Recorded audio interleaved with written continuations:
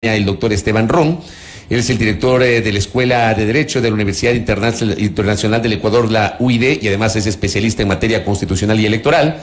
Y les tenemos conectados eh, de forma telemática a los doctores Jimena Ron Herráez y Néstor Toro y Nostroza. Gracias a los doctores por conectarse también con nosotros en esta mañana.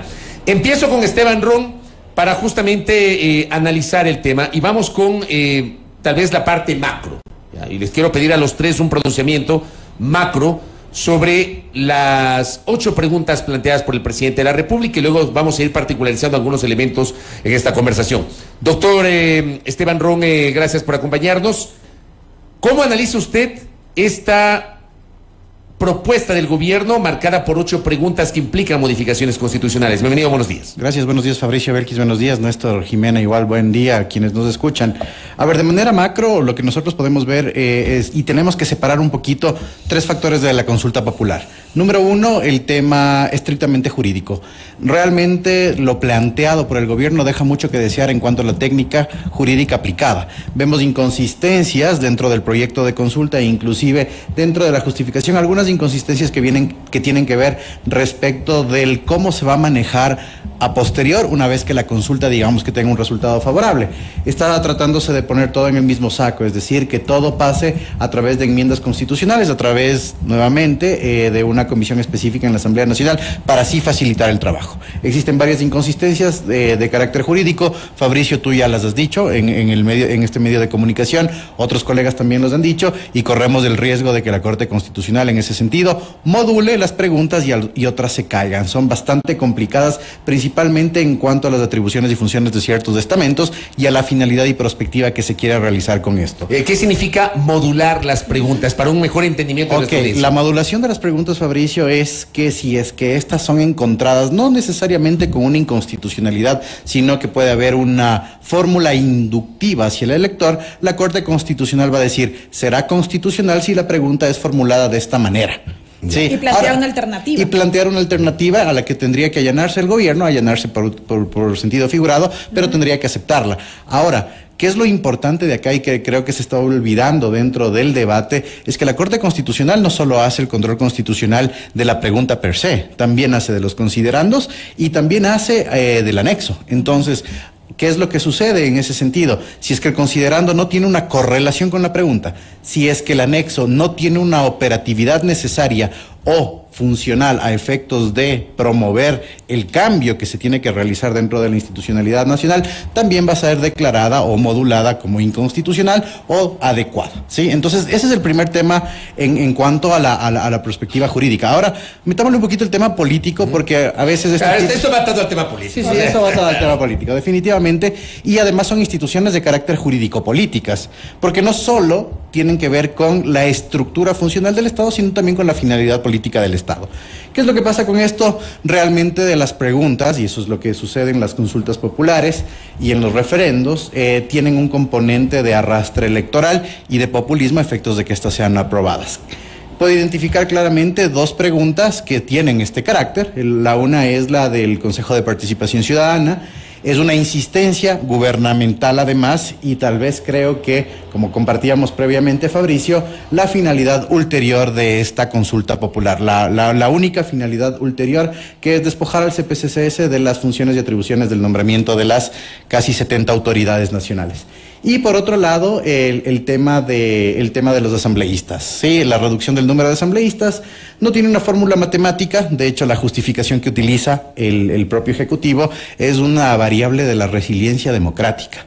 Esa variable es muy subjetiva, ¿sí? Cuando se le estudia la variable de la resiliencia democrática sobre la base de la representación, es decir, cuánto yo como ciudadano me siento representado en un legislativo para reducir el número de asambleístas, es bastante subjetivo. Entonces, esas son las dos finalidades políticas. Yo creo que eso podríamos hablarlo en el tema, en el tema eh, macro de la consulta para ir desglosando. Precisamente, ya vamos a ir analizando eh, tema por tema. Voy con la jurista Jimena Ron. Doctora, bienvenida, buenos días.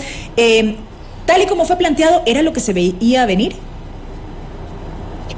Elkis, buenos días, Fabricio, buenos días, qué gusto estar de nuevo con ustedes. Un saludo también para, para Esteban y para Néstor.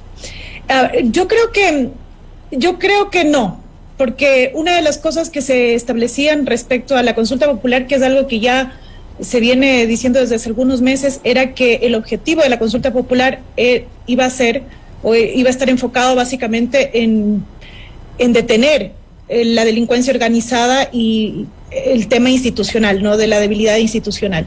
Entonces, un poco vemos esto aquí muy a media tinta, ¿no? En la primera y en la segunda pregunta, quizás un poco, y luego el tema del, de la reducción de los asambleístas realmente no tiene una finalidad como tal de reestructurar la, la institucionalidad o de fortalecer la institucionalidad del Estado. Y lo del Consejo de Participación Ciudadana y Control Social, que bien lo señala Esteban, es como pareciera ser, como la cereza del pastel, ¿no? Entonces, eh, yo creo que nos ha dejado a los ecuatorianos por lo menos con esa sensación de realmente esta consulta popular, este referéndum básicamente, porque este, estos, estas ocho preguntas no son de consulta popular, sino de referéndum, van a solucionar los problemas estructurales en los que estamos, eh, que estamos intentando solucionar, ¿no? Correcto. Eh, Néstor Toro y Nostroza, bienvenido, buen día. Igualmente de lo, de lo macro, y empecemos por lo macro, doctor, bienvenido. Buenos días, Fabricio Belkis. Un gusto estar en este panel con Esteban, con Jimena nuevamente. Eh, bien, yo creo que de acuerdo al timing político, esta consulta popular o este referendo, como bien precisa Jimena, ha sido presentado de tal manera que se va a convertir en caso de que pasen ocho, cuatro, cinco, seis, que sean, eh, en caso de que pase el filtro de la Corte Constitucional, en un referéndum de gestión de aprobación al gobierno nacional. Recordemos que el gobierno nacional está atravesando por unos momentos políticos complicados, de acuerdo a la aprobación que tiene por parte de la ciudadanía.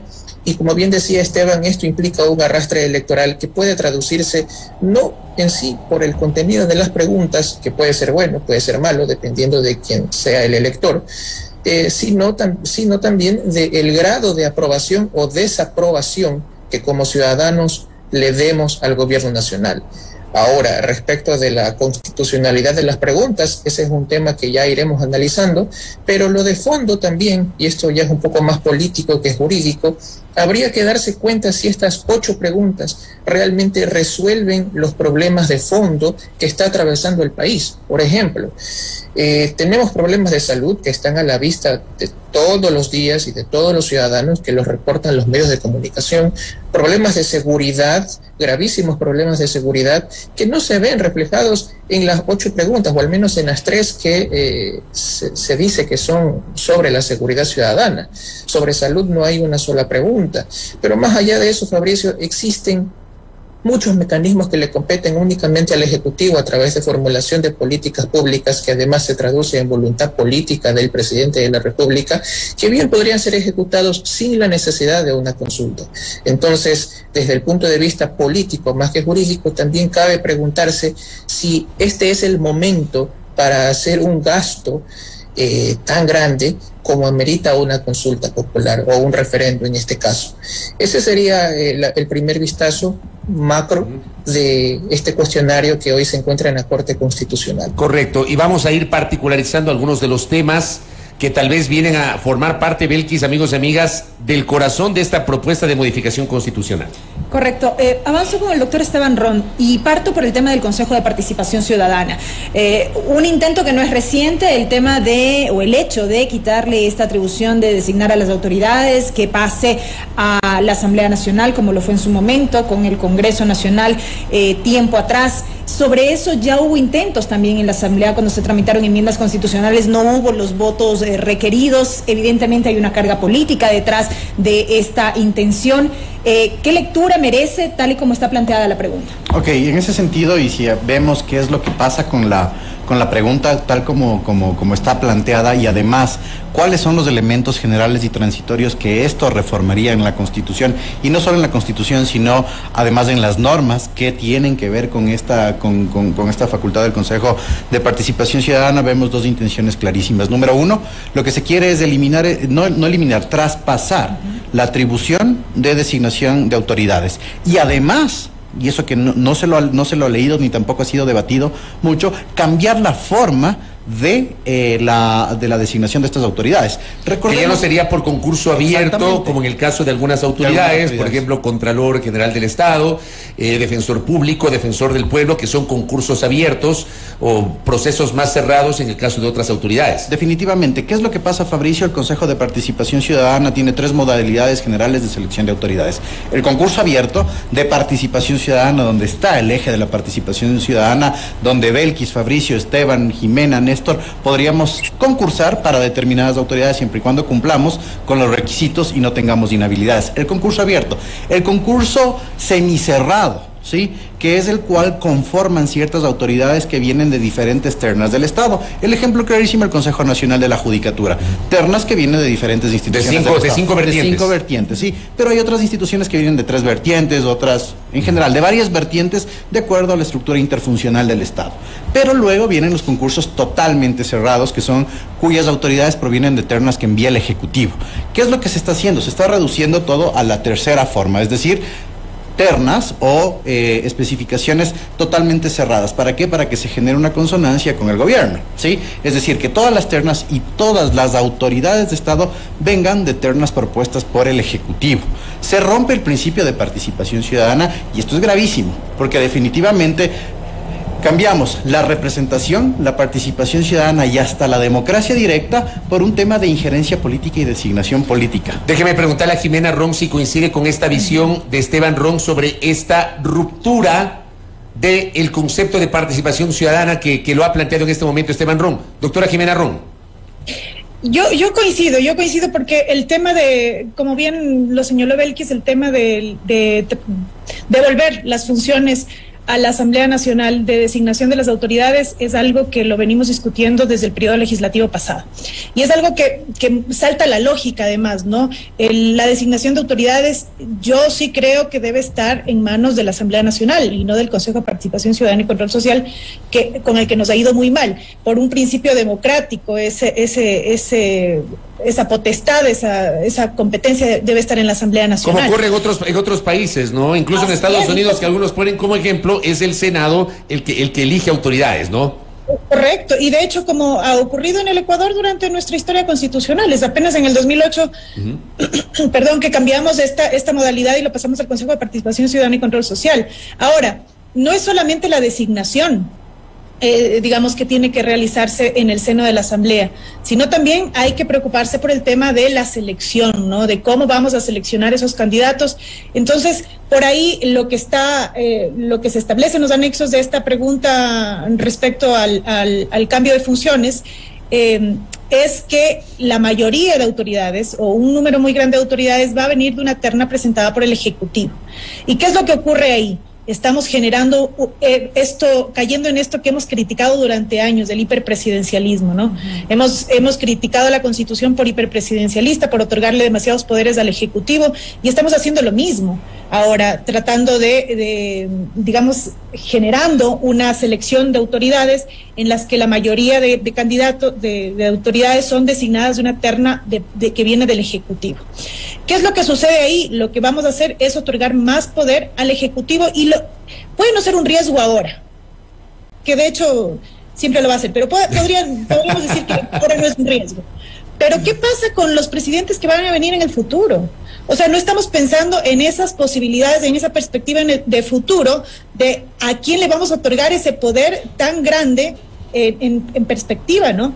Y, es algo que a lo que ya estamos acostumbrados. Las consultas populares, no ahora, no, no la de, la de Lenín Moreno, no la de Correa solamente, siempre, siempre han procurado acumular poder en el Ejecutivo. Esa, ha sido la, mayoría, digamos, eh, generalmente la finalidad de las consultas populares. Entonces, yo sí creo que se pierde también este tema del principio de participación eh, ciudadana, el principio de deliberación democrática, porque esta discusión se puede llevar a cabo en el seno de la Asamblea Nacional, a través de una reforma parcial, no de una enmienda, o bueno, de una enmienda también, pero se puede llevar a cabo a través de una enmienda o de una reforma parcial en el seno de la Asamblea Nacional y hay una mayor deliberación democrática para lograr esta devolución de funciones al, al, al a la Asamblea Nacional.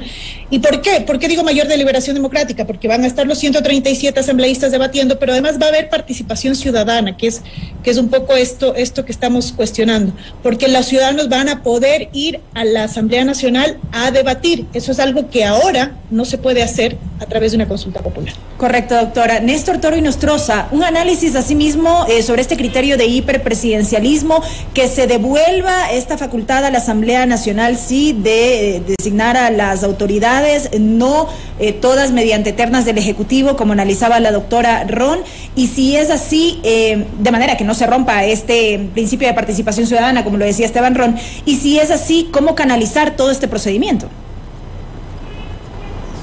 Bien, yo tengo que concordar en gran parte con lo que ha dicho Esteban y Jimena. Efectivamente, la pregunta 6, que es el eje central de toda la consulta, es lo más importante de toda la consulta. Yo, yo creo que, yo creo que ahí vamos a coincidir, yo lo vengo diciendo desde ayer, para mí ese es el corazón, ya, sí. en una suerte de déjà vu con 2018, es el corazón de la consulta.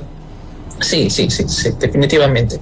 Es una pregunta que va a devenir en hiperpresidencialismo. Y aquí, más allá de que sea hoy el gobierno de Guillermo Lazo, en caso de eso ser aprobado, los efectos políticos y jurídicos de esa pregunta quedan para el siguiente y el siguiente presidente de la República. Es decir, analizar la pregunta 6 únicamente desde el punto de vista que no nos guste tal o cual tendencia política es una visión demasiado inmediatista, cortoplacista, que, por esa razón no deberíamos validar lo que contiene esa pregunta, porque la estructura de la pregunta tal como está quizás no nos diga nada, pero revisando los anexos es donde nos damos cuenta cómo va a ser el mecanismo de funcionamiento de, estas enmiendas constitucionales. Y nos damos cuenta que existe un hiperpresidencialismo, como yo lo he señalado en las redes sociales, camuflado. ¿Por qué? Porque no nos dicen en la pregunta y no nos dicen tampoco en, en, las campañas publicitarias que el presidente de la República es quien va a elaborar las ternas o quien va a ser la autoridad nominadora, mejor dicho, en el caso del fiscal general del Estado, el contralor general del Estado y el defensor del pueblo.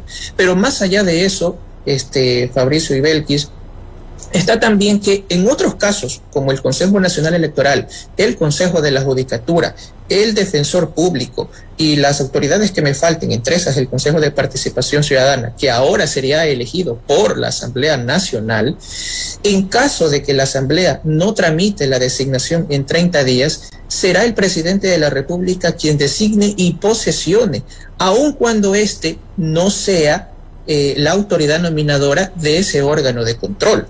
De tal manera que me van a decir, sí, pero eso es una excepción en caso de que la Asamblea Nacional no se pronuncie. Ok, sí, es una excepción, pero lo que no es una excepción es que, por ejemplo, en los casos del fiscal, el contralor y el defensor del pueblo, el presidente de la República, y lo dice la enmienda, no lo digo yo, tiene la facultad exclusiva y excluyente de él elaborar el orden en que serán enviados los candidatos. Y además de previo a enviar los candidatos a la Asamblea Nacional, él elaborar a la interna de Carondelet una comisión técnica de revisión de los candidatos, de tal manera que esta independencia de funciones que que se supone está garantizada por la Constitución y que en el papel parecería que así es, en realidad no es tal, porque al final de los finales siempre va a terminar ganando, o casi siempre va a terminar ganando, el candidato del presidente de la República. Eso por un lado. Y por otro, para cerrar la idea, estas enmiendas constitucionales, en la pregunta 6 particularmente, trae una regla de mayorías que hay que empatarla con la pregunta 4 sobre la reducción de asambleístas en caso de que eso también se apruebe.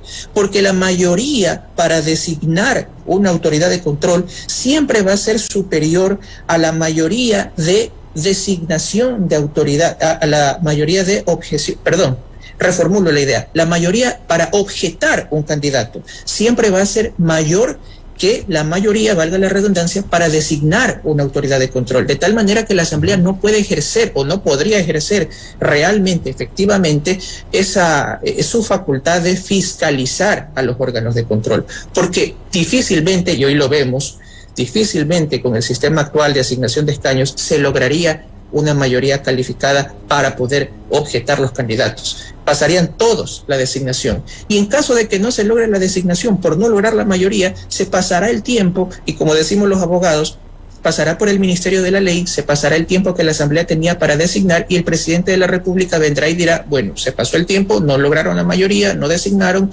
posesiono y designo yo. Existe un hiperpresidencialismo, camuflado, pero lo existe. Eh, aquí tendríamos que preguntarnos, ayer criticaron el hiperpresidencialismo y hoy lo están poniendo en práctica de una manera mucho más fuerte. Ahora porque bien- de la pregunta 6 solamente he contado 42 disposiciones normativas que implican 109 cambios a la Constitución. 109. De las 42 disposiciones normativas que trae la pregunta 6 en los anexos, se traducen en 109 cambios O normativos. sea que no es, no, es, no es tan sencillo como aparentemente se plantea. Ahora, Esteban Ron dijo algo respecto de la participación ciudadana. Le van a decir, doctor, ¿de qué participación ciudadana hablamos? O sea, yo, yo este ejemplo lo he citado siempre cuando he comentado con la audiencia un poquito el tema de las atribuciones del Consejo de Participación Ciudadana, porque tuve la oportunidad de cubrir buena parte de la Asamblea Constituyente de Montecristi y, y la idea de ciudadanizar la designación de autoridades de control con procesos participativos, etcétera, era, era espectacular, maravillosa, que los políticos no metan la mano, que el poder político de turno no metan la mano eh, en la designación de autoridades de control, pero todos sabemos que eso no sucedió, ¿ya? Que el poder político de turno desde el año 2009 hasta la fecha ha metido mano en la designación de autoridades de control. ¿De qué participación ciudadana estamos hablando, doctor? De acuerdo, no, yo también tengo la misma, yo tengo la, la- la misma, la, la misma previsión. Porque hay quienes le van a decir, si no ha habido participación ciudadana, ¿cuál es el temor de que ahora salga del Consejo y vaya a la Asamblea? Así es, pero ¿cuál es el, eh, cuál, cuál es el problema aquí, Fabricio? Que la, la Constitución, ¿sí? el Estado, inclusive las normas programáticas lo consagran, entonces nos vamos a quedar con la participación, y yo tampoco soy defensor de la misma, ¿no? Eso dejemos clarísimo porque también desconfío del sistema como tú bien lo señalas, pero la participación ciudadana es un principio que se irradia a todos, a todos los procedimientos en los cuales nosotros nos vemos envueltos, no, no, no, no solo en el tema de la designación de autoridades, sino también inclusive en las propias elecciones. Entonces es romper con ese principio y tornar a este principio en un principio selectivo. Ahora, ¿qué es lo que pasa? Y, y tengo que complementar el tema de, que señalaba Néstor. El tema del Consejo de Participación Ciudadana fuera del- de las reformas eh, normativas, que Néstor dice que son más de 100, sí, en verdad son más de 100 tiene algunas inconsistencias de reforzamiento democrático y te voy a decir cuáles son porque eso sí salta como alerta. En primer lugar, no es que se va a ir a futuro, se va a romper desde ya desde que los resultados de esta consulta sean, eh, sean promulgados. Primera cosa que es lo que nos establece, que todos los concursos que se están realizando por parte del Consejo de Participación Ciudadana en ese momento se suspenden y nuevamente entramos a un proceso de subrogación de autoridades en el tiempo. Segundo, 45 días tiene la propia Asamblea Nacional según las disposiciones transitorias Para reformar. para para reformar, y no solo para reformar, sino para estructurar el nuevo sistema para la selección de autoridades. Y ahí se tiene que recién calendarizar todas las autoridades que están subrogadas.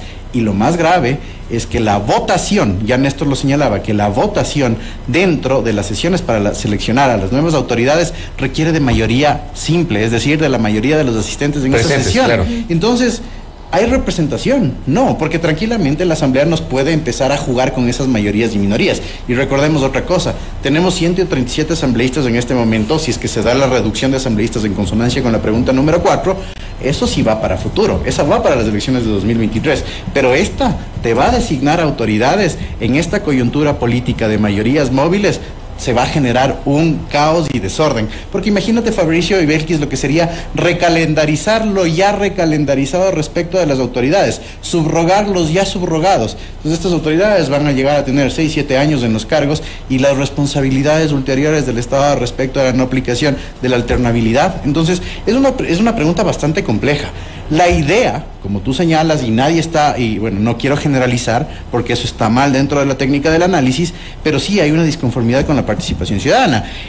El elector no sabe qué es la participación ciudadana. Cuesta muchísimo especificar este principio. Al Es rato es como que suena etéreo, ¿no? Etéreo, no, es que es Sí, sí, éter, sí. es éter, Fabricio, porque tú le dices al alumno, por ejemplo, en mi caso en la universidad, la participación ciudadana, tú puedes presentar un proyecto de ley, sí, pues, y el trámite en intermedio es bastante complicado de lograrlo, es un principio no materializable, pero principio finalmente es principio.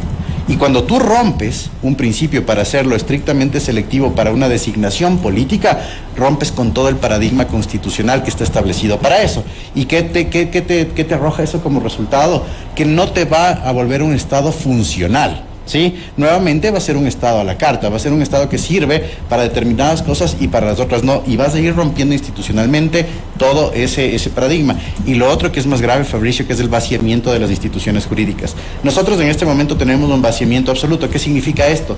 Que ya no se creen las instituciones jurídicas y políticas. En la muerte cruzada ya no se cree. En la consulta popular ya no se cree. Luego vamos a ir vaciando principios. El principio de participación ciudadana ya no se cree. Y así vamos a ir desconfigurando al Estado hasta llegar a un Estado obsoleto y además que no te va a dar seguridad jurídica. Es bastante compleja esta pregunta y como está planteado, sí, como está planteado, con esa simpleza posterior, la prospectiva para cambiarlo sin la seguridad jurídica ni política va a ser un, de, un desbarajuste del Estado. Entonces, después de esto, ¿qué va a venir? Autoridades prácticamente designadas a dedo, coyunturales y juicios políticos. Y entramos en ese círculo vicioso, ¿sí? Del ciclo político y no vamos a salir. Como decía Jimena, no es respuesta al problema estructural, ¿sí? Es un coyunturalismo exacerbado lo que tenemos en este momento. Correcto. Sobre la base de este análisis del doctor Esteban Ron, doctora Jimena Ron, eh, hay una lectura también que ha surgido en las últimas horas a propósito de los temas de la consulta popular, lo que tiene que ver con el Consejo de Participación y eh, la reducción del número de asambleístas, que podría parecer superficial pero ahí quisiera un criterio suyo. Eh, esta incoherencia, aparentemente, entre la intención de reducir el número de asambleístas, sumado a la deslegitimación del Poder Legislativo, la, eh, las constantes críticas que se han hecho a la Asamblea Nacional por parte del gobierno actual, pero a su vez esta intención de devolverle a esa misma asamblea la potestad de elegir y designar autoridades. Entonces ahí quisiera ligar el análisis sobre este tema junto con lo que decía el doctor Esteban Ron en torno a estas mayorías móviles y el posible desenlace de estos procesos que se puedan llevar adelante en la asamblea. Claro, es que si ustedes se dan cuenta, el, la justificación para estas preguntas y para esta pregunta específicamente es fortalecer la institucionalidad del Estado, ¿no? Entonces, porque, eh, como bien se ha dicho en esta, en esta conversación, las instituciones del Estado están, eh, han perdido credibilidad, no solamente el legislativo, el ejecutivo también, con los números que hemos visto, pero también la función judicial. Y no se diga la función de transparencia y, bueno, de la función electoral. Eh, también ni hablar. Entonces, básicamente, no existe una institución en la que los ciudadanos crean realmente. Por eso es que eh, se toma mano, yo creo que de la institución, de una de las instituciones con, con menor credibilidad, que es la Asamblea Nacional. ¿Qué es lo que se está haciendo en el fondo? despojándola totalmente de, de, los poderes que tiene, ¿a través de qué? De reducir eh, su número de, asambleístas, con lo que vamos a quitarle poder, ¿no es cierto? Además de quitarle representación a provincias que tienen menor número de habitantes, pero en el momento en que también le pasamos las funciones de designación le devolvemos, yo digo, ¿no? Porque básicamente esas funciones por naturaleza son de la Asamblea Nacional. En el momento en que le devolvemos las funciones, lo que hacemos es eh, hacer parecer que le estamos dando algo a la Asamblea Nacional. Pero en el fondo, como el, eh, bien lo ha señalado Néstor y Esteban, en el fondo la Asamblea Nacional no va a tener mayor poder de designación. Entonces, va a ser apenas un órgano que nombra, eh, pone el, no sé, pone el nombramiento y nada más, pero la selección es el corazón de este proceso.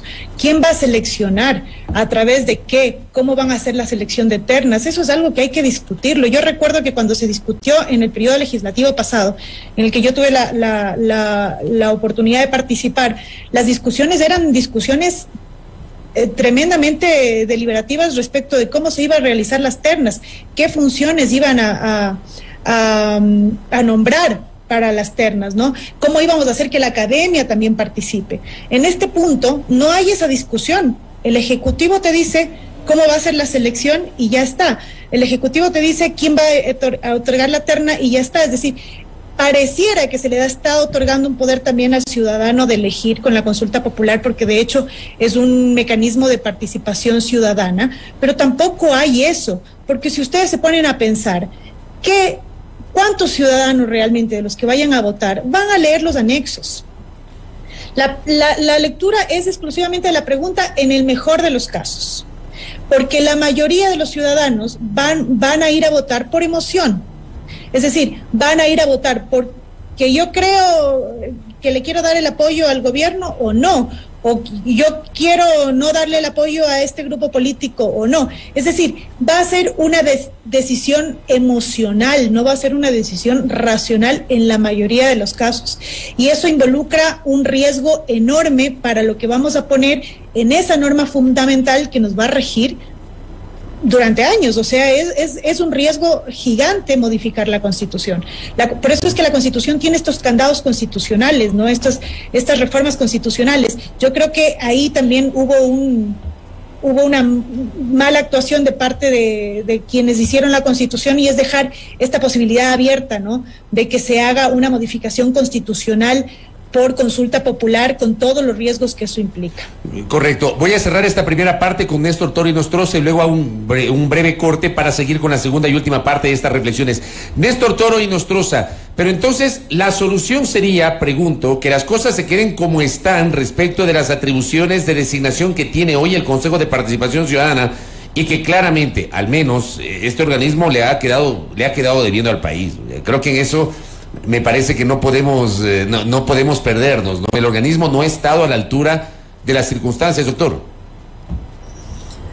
Mire, yo creo que el Consejo de Participación Ciudadana fue o nació como una buena intención y se dañó absolutamente en el camino, porque recordaremos que en el 2008, cuando se discutía la, constituyente de Montecristi, eh, muchos estaban favorables, yo era un niño todavía, pero muchos eran favorables a la participación ciudadana y democratizar la designación de autoridades, pero vemos que eso en la práctica no es más que, que, un romanticismo. ¿sí? Yo me enmarco dentro de los que piensan que la autoridad que debería designar por naturaleza a estas autoridades es la Asamblea Nacional o intentar otros mecanismos como por ejemplo quizás elección de fiscales como ocurre en otros países, pero el Consejo de Participación Ciudadana no debería tener esa atribución. Sin embargo, es nuestro sistema actual y hay que respetarlo. Ahora, el hecho de devolver a través de la pregunta 6 la designación de autoridades a la Asamblea Nacional, hay que analizarlo bien,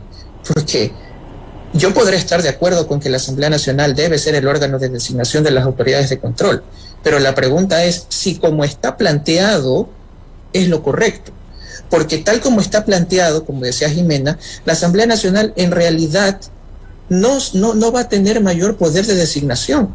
Como yo he dicho también, se convertiría solamente en una mera tramitadora, porque la verdad se ha dicho, el presidente de la República no necesita de una mayoría legislativa en la Asamblea para poder gobernar, al menos no en todos los casos. En estos casos donde se va a necesitar una mayoría para designar y una mayoría para objetar a los nominados de especialmente los, las ternas que él envíe, lo que tiene que hacer el presidente de la República no es eh, trabajar en tener una mayoría legislativa, sino en destruir las mayorías que puedan formarse en contra del mismo como ya lo hemos visto, por ejemplo, en el caso del Consejo de la Judicatura. No podemos hablar de que el gobierno nacional tiene una mayoría, pero sí podemos hablar de que el gobierno nacional ejerce o tiene trabajos de, manejo político, si cabe el término, para destruir la mayoría que puede estarse formando para determinado objetivo. Entonces, desde ese punto de vista, la Asamblea Nacional, en esa devolución de la atribución de designación, vemos que no es no es, no es tal, no es que la Asamblea Nacional vuelve a tener un poder de designación, un poder de nombramiento, sino simplemente de tramitación de aquello que otros órganos del Estado, entre esos y mayoritariamente el presidente de la República, le envíe. Y que por no poder armar una mayoría dentro de la Asamblea, ya sea para designar o ya sea para objetar, se pasará el tiempo y será el presidente de la República quien finalmente tenga la última palabra. Una cuestión peligrosa porque no habría la independencia de funciones, no habría separación de poderes, no podríamos configurar el sistema del check and balance que, que el Ecuador lo acoge y tendríamos un hiperpresidencialismo mucho más fuerte del que ya se ha venido criticando en estos últimos tiempos. Correcto. Voy a hacer una pausa ahora mismo, cumplir con nuestros eh, patrocinadores y regresamos en la recta final de esta interesantísima charla. Es una primera aproximación que estamos haciendo con tres especialistas sobre esta propuesta de consulta popular que, digamos, Las ocho preguntas que ha planteado el presidente vendrían a configurar un referéndum, porque estamos hablando de enmiendas a la Constitución o modificaciones a la Constitución de la República. Nos acompañan Esteban Ron, Jimena Ron y Néstor Tori Nostroza. Pausa aquí en a primera hora. Volvemos.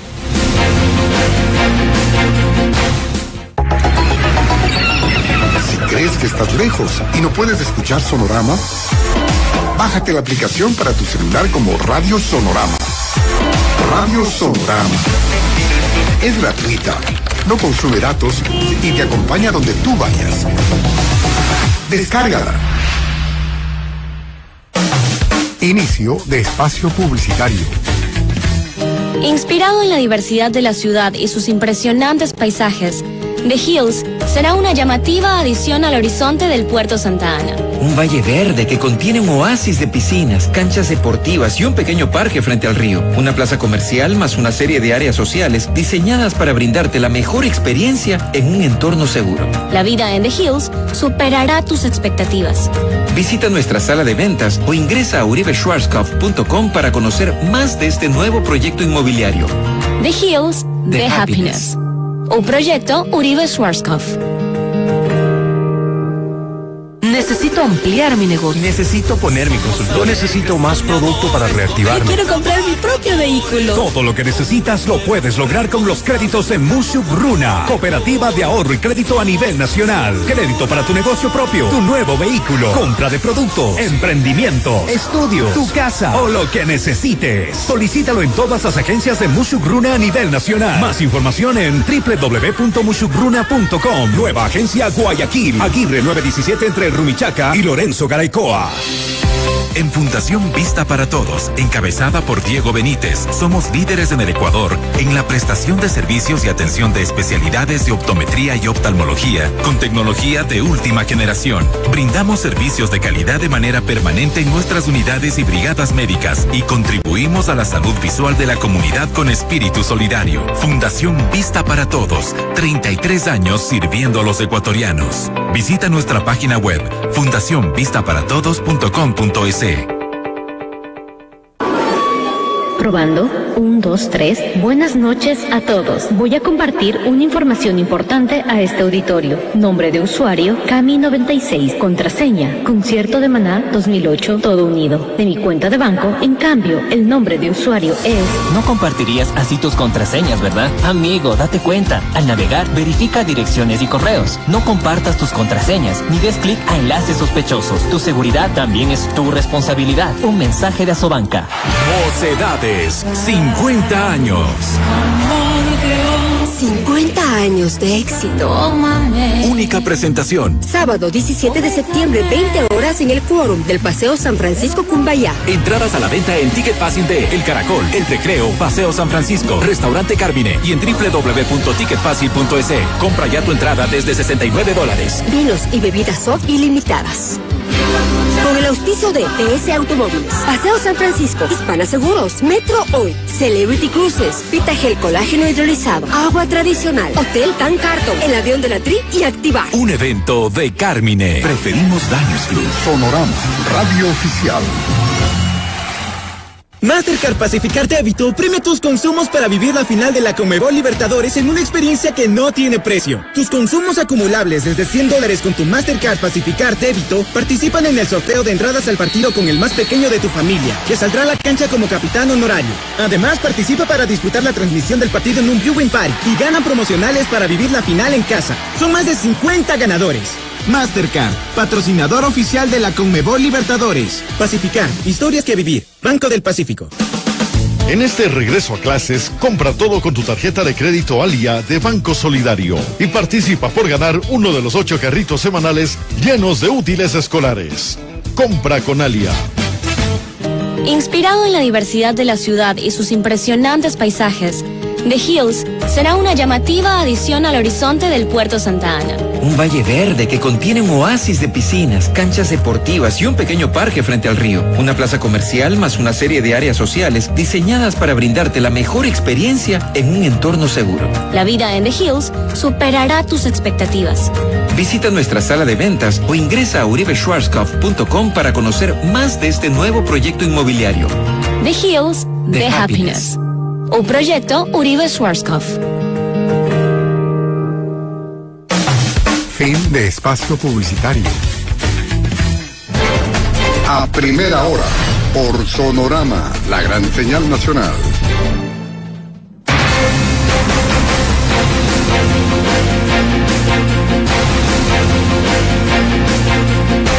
Siete con 48, seguimos. No nos va a quedar tiempo, evidentemente, para abordar todas las preguntas, por eso esta era una primera aproximación con nuestros tres invitados. A ver, pero le pregunto a- a Esteban Ron.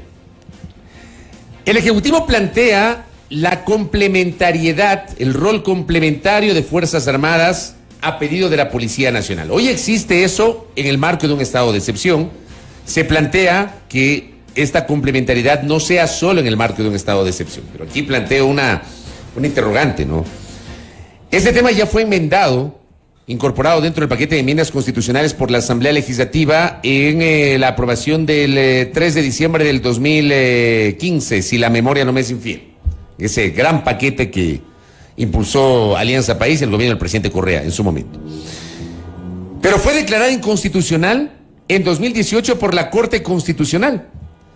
¿Quién garantiza que cuatro años después, en 2022, la Corte Constitucional se desdiga de un pronunciamiento de ese organismo? Aunque, si la memoria no me es infiel, fue la Corte anterior la que se pronunció sobre esa declaratoria de inconstitucionalidad, no la actual. Pero termina siendo un fallo de este organismo que es el más alto Tribunal de Justicia Constitucional. ¿Cómo le ve usted, doctor Ron? O sea, ¿será que la Corte se desdice sobre esto y se puede facilitar eh, eh, la complementariedad siempre de las Fuerzas Armadas en el trabajo de la policía? Ok, ¿qué es lo que sucede en este caso? Eh, nuevamente es una, es, una, es una consulta, es una pregunta, perdón, de, de carácter eh, populista y reac- reac- de, de reacción, de coyunturalismo. Estamos... La pregunta ancla, dice usted. Ancla, no, y además, y además una, es preguntar sobre, sobre una cosa que, que realmente no tiene, no tiene una trascendencia de reforma estatal. ¿Quién no quiere más seguridad? O sea, es así de sencillo. Pero ¿qué es lo que sucede?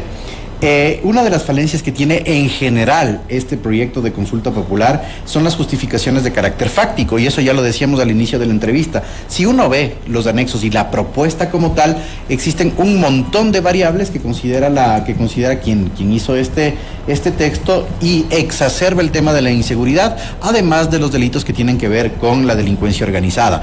Además, la falta de capacidad en general, ya cuantitativa, por parte del Estado para reaccionar ante estos niveles. Entonces, en primer lugar, se trata de cambiar las circunstancias fácticas para que la Corte logre desapegarse de las circunstancias que ya pasaron en su momento de esta declaratoria de inconstitucionalidad. Ahora, ¿qué, ¿cuál es la otra, la, la- la otra forma de solventar este tema? En primer lugar, que, ya le decía, la primera las circunstancias fácticas. La segunda, más deslegitimada que la Corte anterior, no existe. La Corte Constitucional anterior no tenía grados altos de institucionalidad y además tampoco ofrecía la seguridad jurídica. Entonces, que esta Corte, Fabricio Belkis, se desapegue de ese precedente no generará mayor discusión, porque de hecho lo viene haciendo a lo largo de, de todos estos años que lo ha hecho. Se desapega de precedentes, se desapega de dictámenes y trata de reinstitucionalizar al Estado. Así que no le veo muy, muy complicado. Ahora, ¿Qué, ¿Cuál es la, parte final que ya son los estándares internacionales? Eh, señala escuetamente igual el proyecto de, de- consulta popular que existen cuatro modalidades en este sentido para que se pueda dar esta complementariedad y colaboración entre Policía Nacional y además y las Fuerzas Armadas. Y utiliza como base a ciertos pronunciamientos del Sistema Interamericano de Derechos Humanos. ¿Cuál es el riesgo de esto? Que las circunstancias del sistema interamericano no se adecúen a las circunstancias que nosotros tenemos acá. Que las circunstancias y los estándares que ha establecido el sistema interamericano tampoco se adecúen a la actual estructura funcional del Estado en cuanto a defensa y seguridad.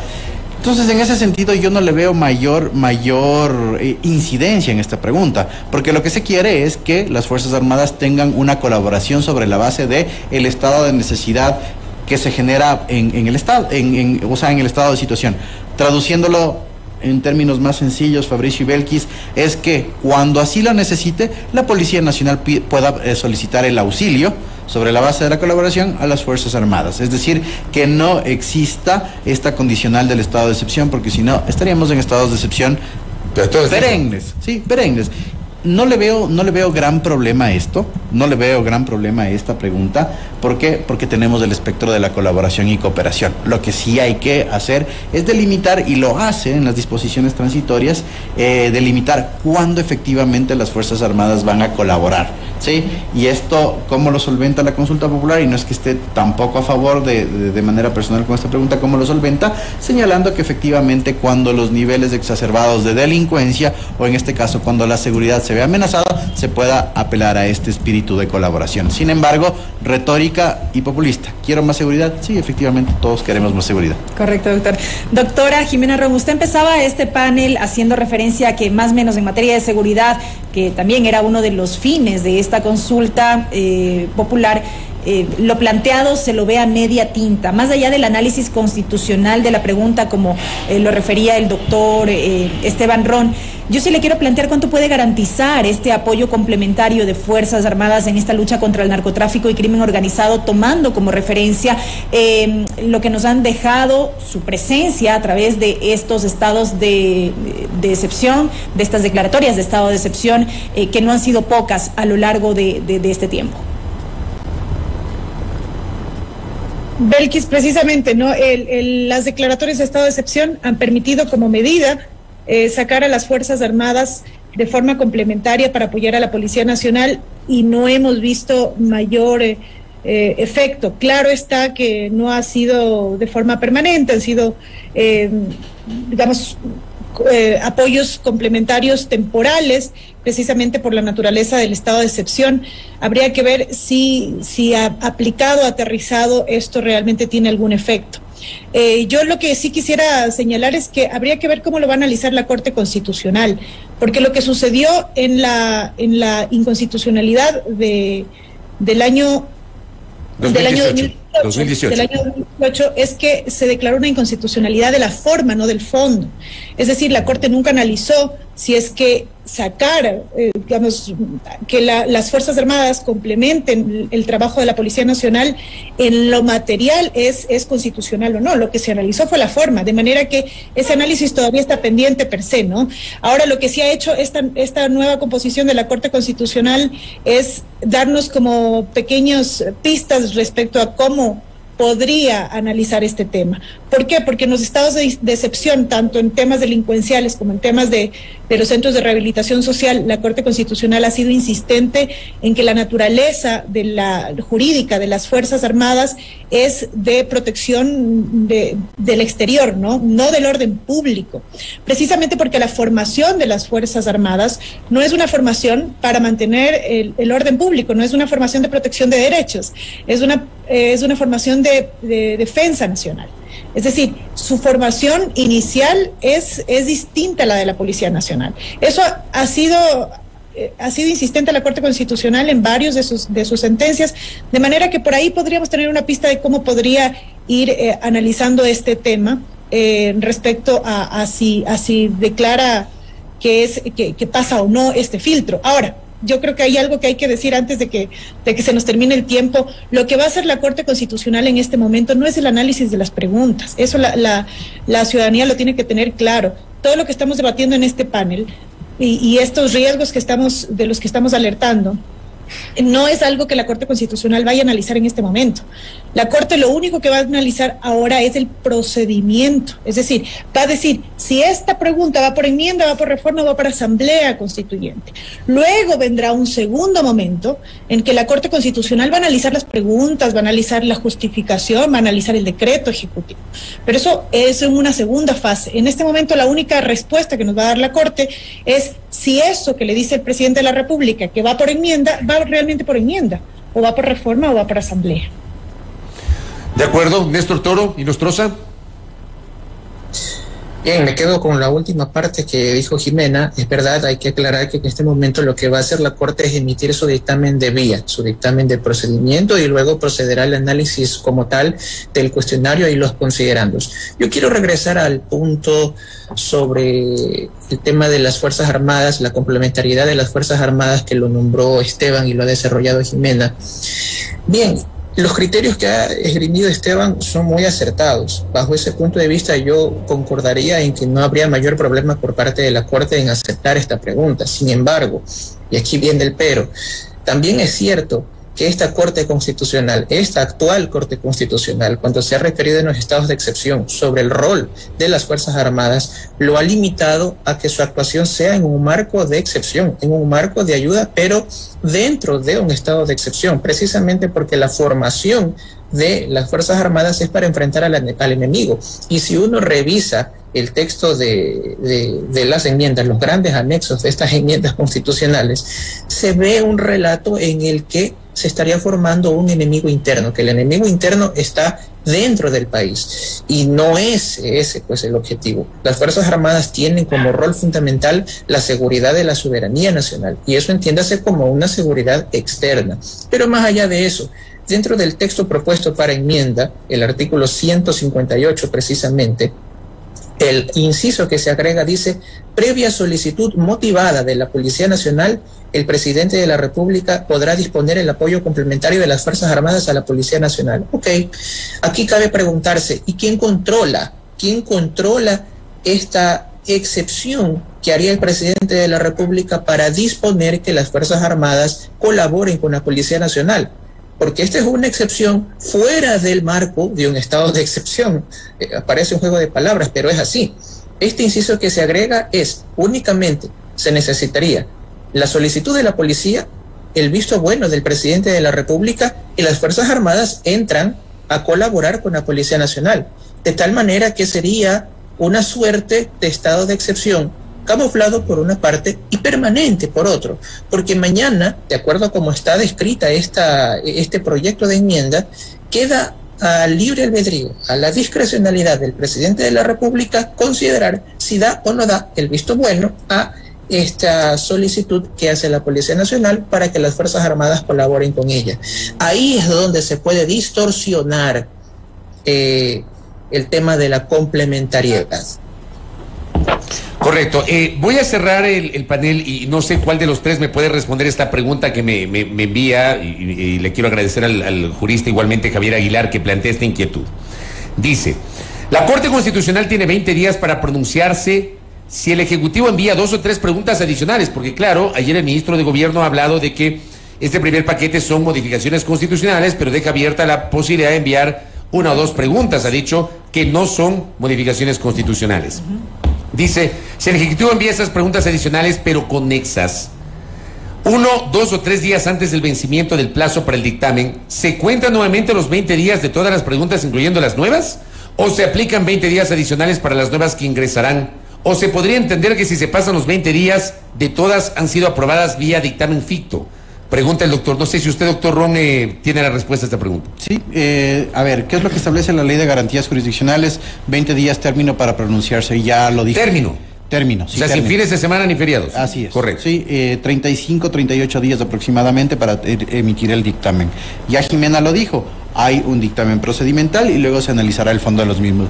¿Qué es lo que pasa respecto de, la, de, de lo, que, de lo que planteó ayer el ministro a Rosemena? De hecho, eh, entra a un nuevo paquete. O sea, la, la, la, la ley orgánica de garantías constitucionales y, y, los colegas lo corregirán en su momento, y es una excelente pregunta la planteada por, por el colega, eh, no establece acumulación de causas en este tipo de, de, de, de, procedimientos. ¿sí? No establece una acumulación de causas, salvo que exista, tú lo señalas, Fabricio, una conexidad puede haber una conexidad, pero la temporalidad no es que se va a subsumir la una a la otra o la, la, primera temporalidad va a aglutinar al nuevo proyecto. Entonces, en este juego que también desestabilizó el, el, el, cómo se va a realizar la, consulta popular, también nos, nos, nos, está empezando a jugar un poco el gobierno respecto de la inestabilidad interna de las posibles preguntas. Ahora, esto fue un anuncio del ámbito económico, ¿sí? Fue un anuncio del ámbito económico y nos puso a especular y yo podría creer que es posible posiblemente la ley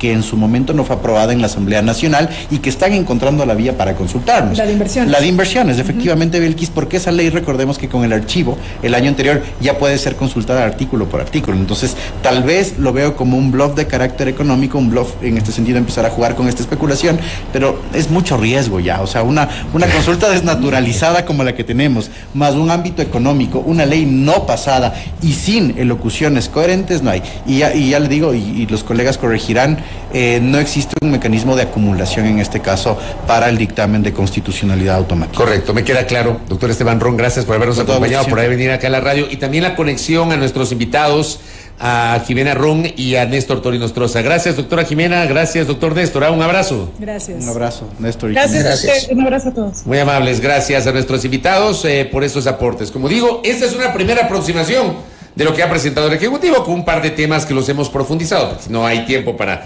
para hablar de las, de las ocho interrogantes en materia constitucional. Veamos qué pase sobre esto. Habrá que seguir, eh, obviamente, generando entrevistas y opinión. Lo vamos a hacer desde ese espacio junto a Belkis sobre el contenido de estas interrogantes.